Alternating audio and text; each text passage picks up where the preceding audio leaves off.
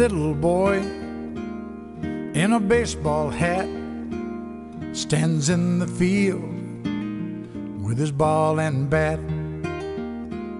Says, I am the greatest player of them all.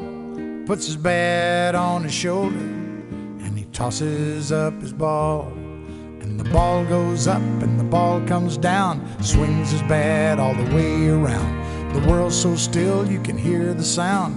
The baseball falls to the ground.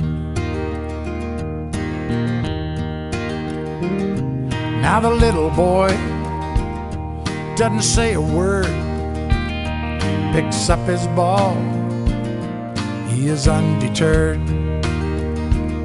Says, I am the greatest there has ever been.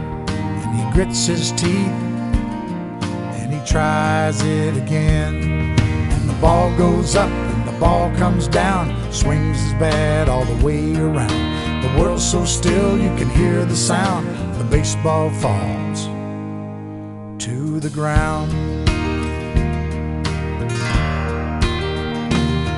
He makes no excuses, he shows no fear. Just closes his eyes and listens to the cheers. Little boy, he adjusts his hat picks up his ball, stares at his bat, says, I am the greatest. The game is on the line, and he gives his all one last time.